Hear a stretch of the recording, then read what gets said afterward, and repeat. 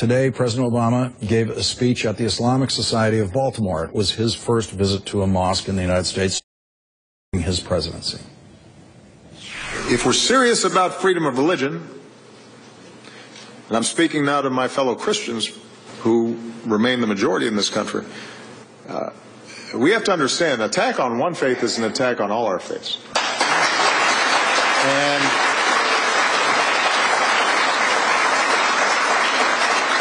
when any religious group is targeted, we all have a responsibility to speak up. And we have to reject a politics that seeks to manipulate prejudice or bias and targets people because of religion. The president had this message for young people. I want to speak directly to the young people who may be listening. You know, in our lives, we all have many identities. We are sons and daughters and brothers and sisters. We're classmates. We're Cub Scout troop members.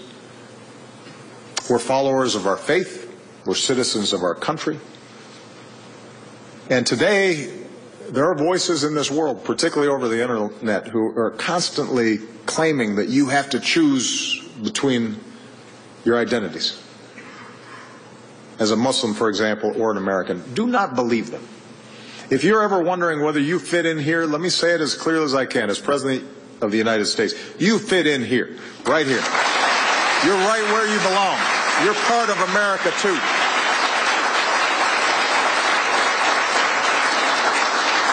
You're not Muslim or American, you're Muslim and American.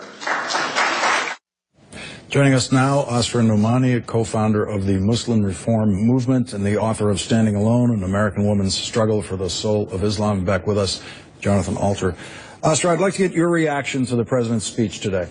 Well, I didn't actually watch the president's speech as it was happening because I was standing outside on Johnny Cake Road by the police security barriers protesting President Obama's presence at that mosque.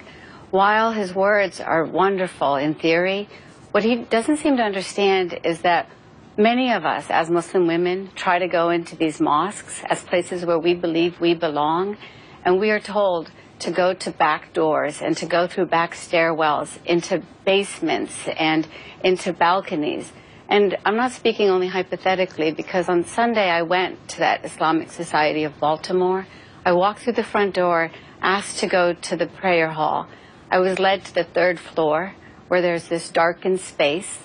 It looks over the beautiful, majestic space that you can see President Obama speaking in. All of those people who are there are allowed entry on this special interfaith day.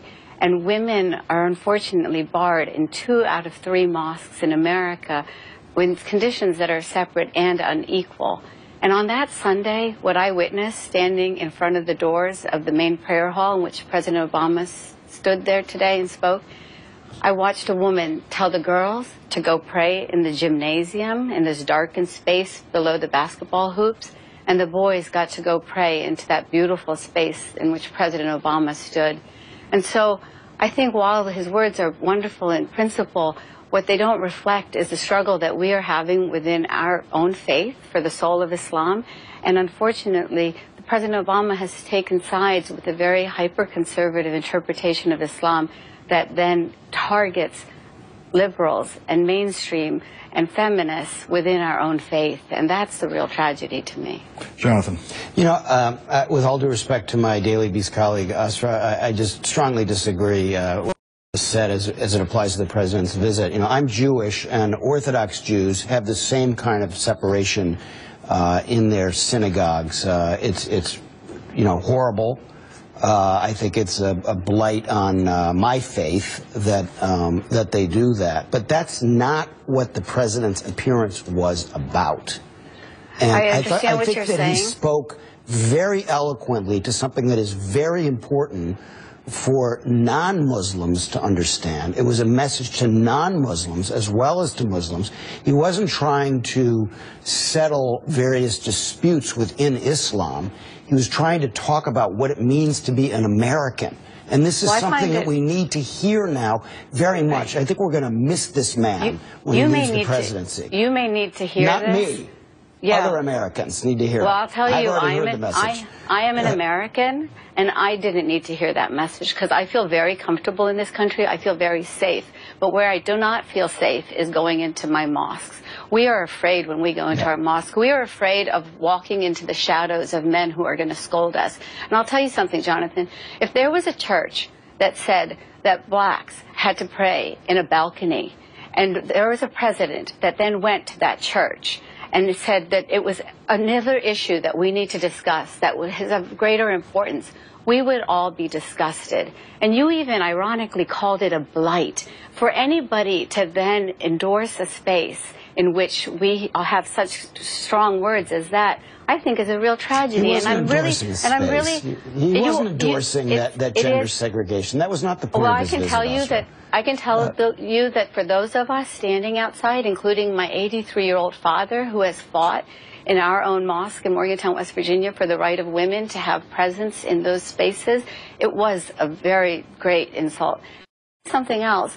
To throw women under the bus like that is a real tragedy. And to me, it's really ironic, especially at a time when the president is pushing for equal pay and is pushing for greater benefits for women in the military. This is the tragedy of all times for women. We are always thrown under the bus. We were the last to get the right to vote in America. And today, I'm so sad to be hearing from you as a colleague the same kind of, of, of evaluation that ends up saying, you know what? Your values, your needs are not as important as these greater Asra, needs. can I ask you quickly before I, we're running out of time? After just one, could the White House have chosen a better location for a speech like this? Unfortunately, like I said, two out of three mosques in this country have these kind of blightful conditions, as Jonathan just aptly put forward. We have some that are more liberal and more mainstream, if you ask me, uh, to values of Islam. It would have been very difficult, but I think he could have find, found a better choice. And you know what?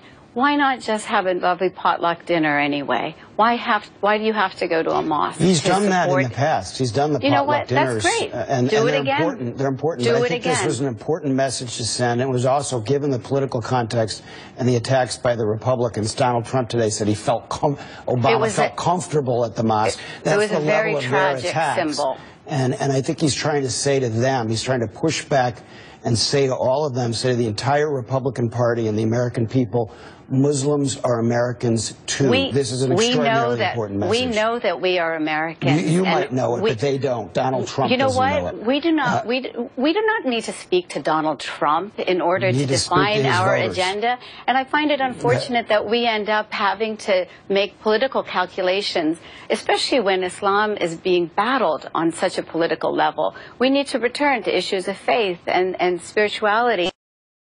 This ended up becoming just another political agenda. And what ends up coming, what becomes the issue at cost then? All of the noble efforts for reform that many of us are fighting to do.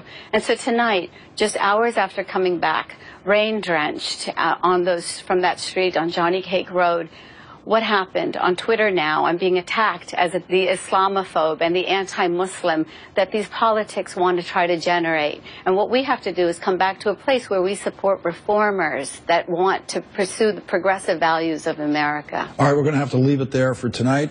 Asra Nomani, thank you very much for joining us, and Jonathan Alter, thank you.